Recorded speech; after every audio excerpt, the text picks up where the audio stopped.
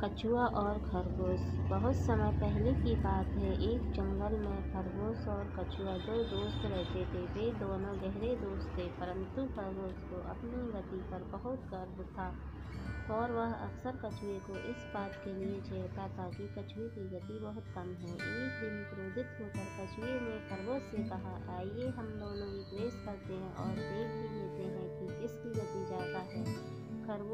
कछुए की इस बात पर ज़ोर से हँसी आ गई।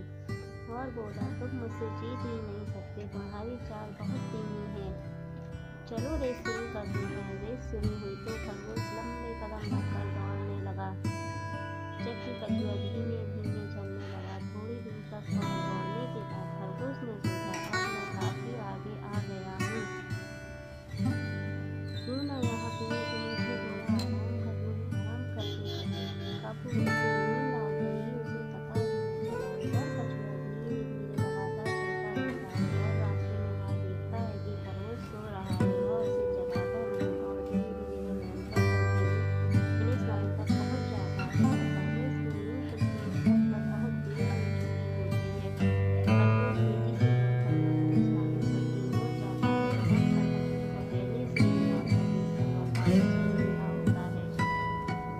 talking